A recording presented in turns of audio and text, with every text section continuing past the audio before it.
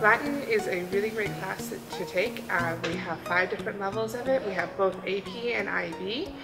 Uh, you can take Latin uh, at any time. If you are a junior and you want to take it as an elective, you take Latin 1. It's a lot of fun. The great thing about Latin is that it prepares you to take any other Romance language. So when you have your good base in Latin, it's really easy to learn another Romance language like Spanish or French or Italian.